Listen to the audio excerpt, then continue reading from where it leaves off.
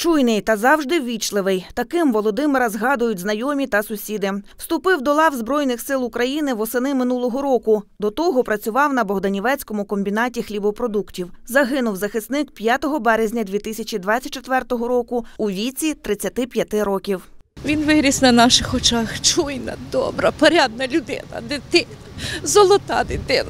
І золотий чоловік. Ніколи він не пропустив нікого з нас, ні старих, ніяких, щоб не поздороватись, не спитати.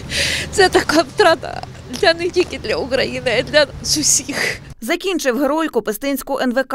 У шкільні роки однокласники та вчителі згадують його як позитивного та щирого юнака. От завжди оця перша парта і Володя на першій партії. Коли я прочитала оце повідомлення вчора, і зразу мені отой клас весь, і він на першій партії. Це був ангел, це була дуже дуже весела людина. Не було такого дня, що він не посміхався. Просто ну ми ніколи його не забудемо. Виріс захисник у великій родині, мав сестру та двоє братів. Хотів створити власну сім'ю. Під час відпустки планував весілля.